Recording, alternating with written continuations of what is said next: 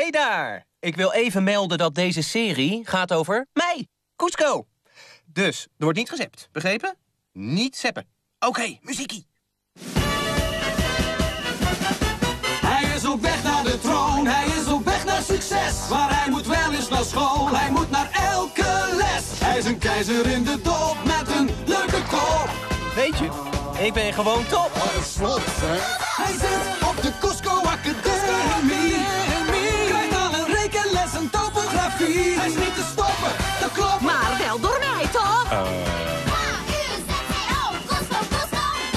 Hij is zo cool, hij is charmant en ik stijl. En zijn leuke vriendin houdt zijn IQ op peil.